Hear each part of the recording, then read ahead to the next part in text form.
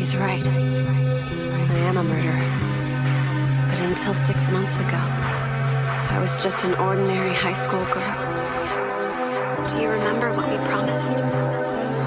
We're not going to lose anyone else close to us again. We swore that we would always be there for each other. No matter what happens, though, I promise that I'll protect you.